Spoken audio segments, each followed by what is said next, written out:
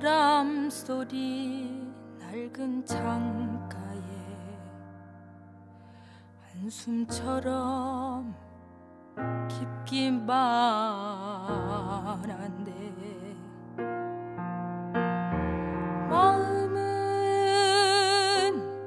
동산에 뛰어